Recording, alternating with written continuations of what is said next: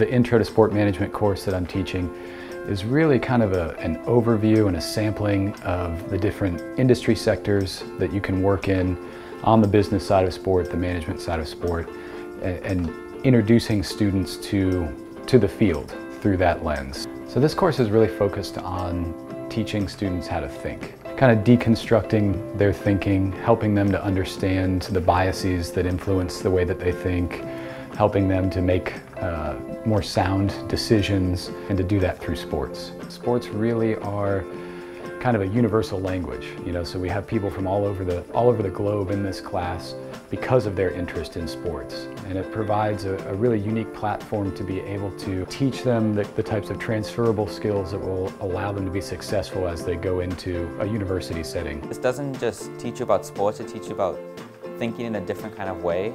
So today we had to come up with a sport that specifically interests people who are obese. The teacher gets you involved, you're always talking and moving around and creatively thinking to find new solutions. We do a lot of guest speakers, field trips, documentary films, uh, basically to, to help students understand the career options that are out there if you want to be involved in sport management.